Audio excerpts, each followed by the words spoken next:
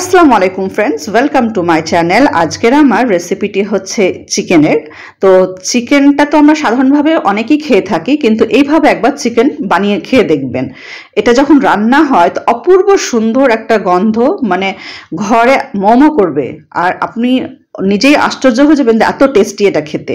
অবশ্যই ট্রাই করবেন আর পুরো রেসিপিটা শুরু থেকে দেখবেন স্টেপ বাই স্টেপ আমি অনেক কিছু দিয়েছি মানে ঘরোয়া জিনিসই দিয়েছি, আপনি ট্রাই করে দেখবেন। তো এই চিকেনটার জন্য আমি রান্না নিয়ে নিয়েছি দেড় কেজি চিকেন আর সেটাকে খুব ভালো করে ধুয়ে পোষা করে লেবু চিপে আমি ম্যারিনেট করে রেখেছিলাম। আর তার সঙ্গে দিয়েছি আদা বাটা আর রসুন বাটা দুটোই কিন্তু আমি একসঙ্গে বেটে রেখেছি, এক টেবিল চামচ করে প্রত্যেকটা। আর কিছু নিয়েছি এবার, রান্না করছি আমি সর্ষের তেলে, আর সর্ষের তেলটা যখন গরম হয়ে গেছিল তো কিছু গরম মশলা মুখ ফাটিয়ে দিয়ে দিয়েছি আর তার মধ্যে এক চামচ জিরেও দিয়েছি আর দুটো শুকনো লঙ্কা দুটো তেজপাতা। চারটে পাঁচটা এলাচ চার পাঁচটা লবঙ্গ একটা চার কুচি দারচিনি আর চার পাঁচটা কাবাব চিনিও দিয়েছি। আর দিয়েছি আমি ওর ভিতরে একটা কালো যে এলাচ পাওয়া যায় সেটার মুখ ফাটিয়ে আমি দিয়ে দিয়েছি। যখন এগুলো তেলে দেবো খুব সুন্দর একটা ঘ্রাণ বেরিয়ে আসবে তখন আমি এটা তখন ওর মধ্যে দিয়ে দিয়েছি আমি পেঁয়াজ বাটাটা। দুটো মিডিয়াম সাইজের পেঁয়াজ আমি বেটে রেখেছিলাম, সেটা দিয়ে দিলাম, আর দিয়েছি দুটো টমেটো মিডিয়াম সাইজের সেটা আমি এর মতো দিয়ে দিলাম। দিয়ে একসঙ্গে ওটাকে আমি কষাচ্ছি। আর দিয়ে দিচ্ছি এবার শুকনো গুঁড়োগুলো, যেমন ধনে গুঁড়ো তিন চামচ নিয়েছি, আর দেড় চামচ নিয়েছি হলুদ গুঁড়ো, তারপরে ঝাল লঙ্কার গুঁড়োটা আপনার নিজের স্বাদ মতন দেবেন, আমি এখানে দুই স্পুন দিয়েছি।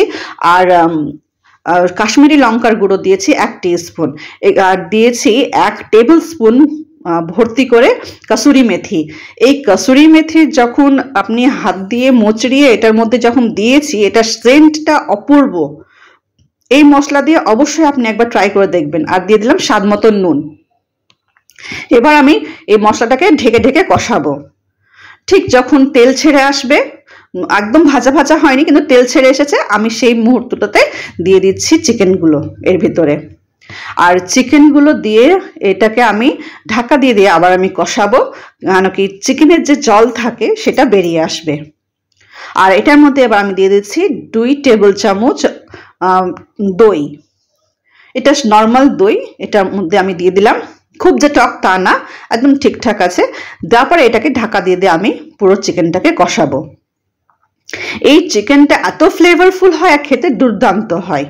আর যখন একঘেয়েমি আপনি চিকেন খাবেন, তার থেকে এটা মানে অপূর্ব, আপনার মুখটা পুরো চেঞ্জ করে দেবে।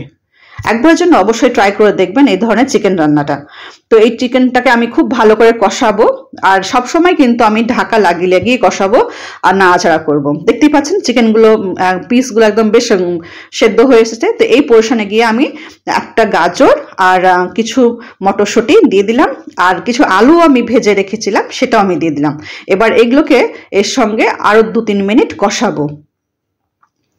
সমস্ত মশলাটার সঙ্গে যখন এই চিকেনটা কষাবো, এত টেস্টি হয়, আপনারা রান্না না করে খেয়ে বুঝতে পারবেন না। এটা আপনি মানে যদি আপনার বাড়িতে কোনো গেস্ট আসে, তো অবশ্যই এটা সার্ভ করতে পারেন। আর তার সঙ্গে এবার আমি দিয়ে দিলাম ভাজা জিরের গুঁড়ো আর একটা ক্যাপসিকামের হাফ অর্ধেকটা এভাবে চৌকনো করে কেটে দিয়ে দিয়েছি। এই সমস্তগুলো কিন্তু আমি ধুয়েই তারপরে কেটেছি।